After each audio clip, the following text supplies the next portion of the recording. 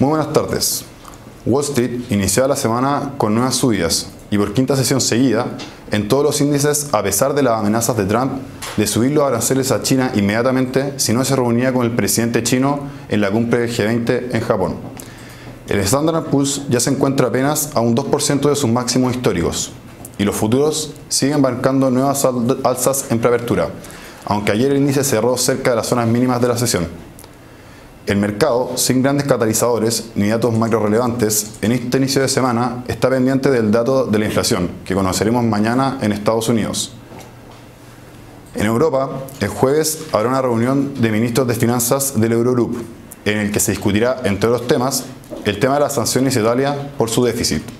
Y mañana volvemos a contar con Draghi, que hará una conferencia en Frankfurt. En la sesión de hoy, por el lado de los commodities, el petróleo cotizó con leves subidas.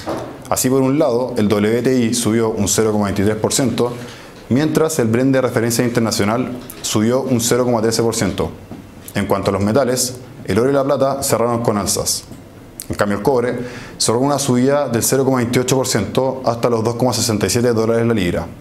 Nuestro peso chileno, el día de hoy, tuvo una apertura en 696,75 pesos, para tener una jornada de fuerte apreciación y cerrar al final en un 692,8.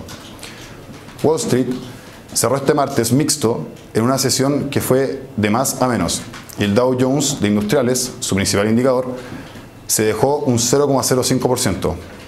El selectivo Standard Poor's 500 cayó un 0,03% y el índice compuesto por el mercado Nasdaq ascendió un leve 0,16%.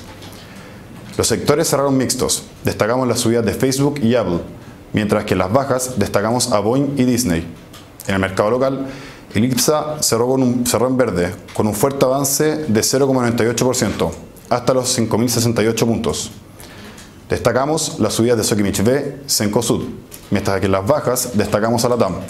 En la cartera actual, en Chile mantenemos los valores de CMPC, Sokimich B, Vapores, Santander, Conchitoro, Aesgener, Agua Sandina, Falabella y el ETF que replica el. El día de hoy realizamos ventas de Parque Arauco y BCI y compramos dicho ETF. Mientras que la cartera de Estados Unidos mantenemos en cartera a SPY, Boeing y Apple.